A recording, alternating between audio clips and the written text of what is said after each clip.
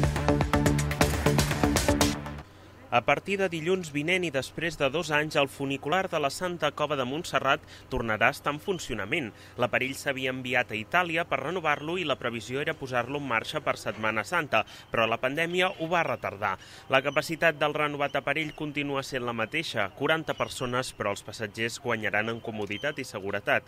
La previsió és que atengui unes 120 persones per hora amb un servei cada 20 minuts. Les tasques de millora han consistit en la renovació dels vestidors de les caixes baixes, així com l'estructura de la via. Per fer-ho possible, Ferrocarrils ha invertit 2,3 milions. Encara hi ha prevista, però, una segona fase que consistirà en la renovació de la sala de màquines. L'aparell que connecta el monestir amb el camí de la Santa Cova es va tornar a instal·lar a Montserrat el 7 de juliol i des del llavors ha estat en període de proves. Recorre un traçat de 262 metres i supera un desnivell de 118 en un indret envoltat de natura i història. Cal recordar que el rècord històric de visitants visitants a la cova va ser el 2014, amb 170.800. El 2017, previ al tancament, abans d'aquestes obres, es va arribar a la xifra de 150.900.